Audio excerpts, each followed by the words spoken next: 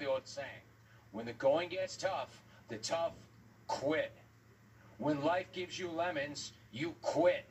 It's not how many times you get knocked down, it's how many times you quit. When you fall off that horse, quit.